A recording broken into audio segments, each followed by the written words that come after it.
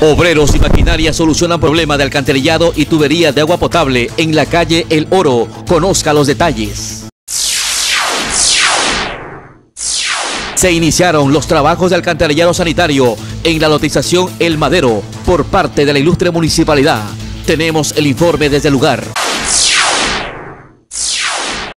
Moradores agradecen por esta obra a las autoridades. Muestran su optimismo ante nuestras cámaras. Entérese de lo que señalan.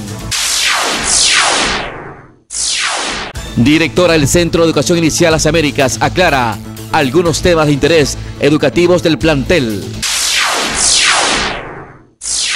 Presuntos pillestres. Se llevaron varios objetos y botellas de cerveza. Andaban sedientos. Entérese dónde pasó esto.